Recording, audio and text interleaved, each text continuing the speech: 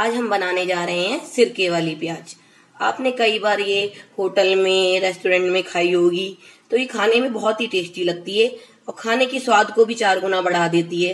तो चलिए हम इन्हें शुरू करते हैं।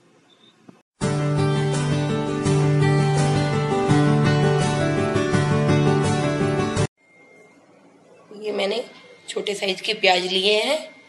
देखिए, ये थोड़ा सा मैंने कट किया हुआ बीट रूट लिया है। और मैंने ये ग्रीन चिली ली हुए स्लाइस कर लिए हैं। ये डेढ़ चम्मच मैंने चीनी ली है। आधा चम्मच चम्मच मैंने नमक लिया है। और ये मैंने दो इलायची, चार लौंग और ये दालचीनी ली है। और मैंने ये काली मिर्च ली है। ये हमारे पास पीसी हुई है। आप साबुत काली मिर्च का भी यूज़ कर सकते हो। मैं प्याज में कट लगाऊँगी लगाऊँगी। देखिए ये हमें पूरा नहीं लगाना है नीचे तक। हमें ऐसे लगाना है ये। देखिए, मैं और लगा के दिखाती हूँ।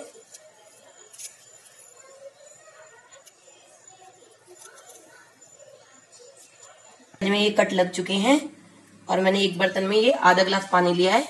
अब मैं इसे थोड़ी देर उबालूँगी।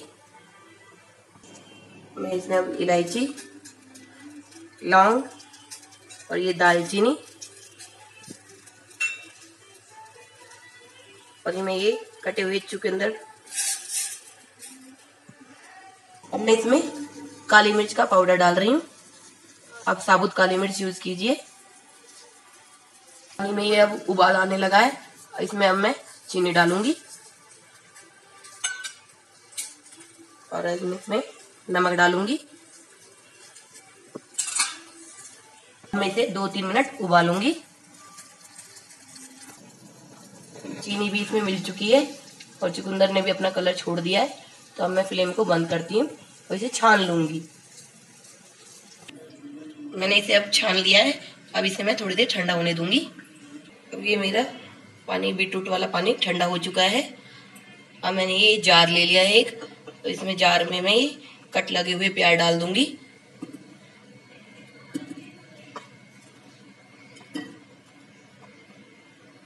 इसमें ये बीटरूट वाला पानी डाल दूँगी। मैं ग्रीन चिली डाल दूँगी, स्लाइस की हुई।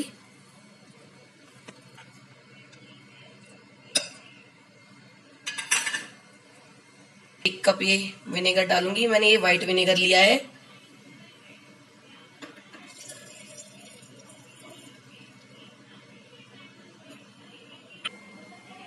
अब इसे हम ओवरनाइट रख देंगे।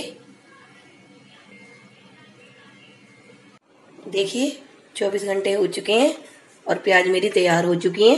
देखिए, मैं आपको ये निकाल के दिखाती हूँ।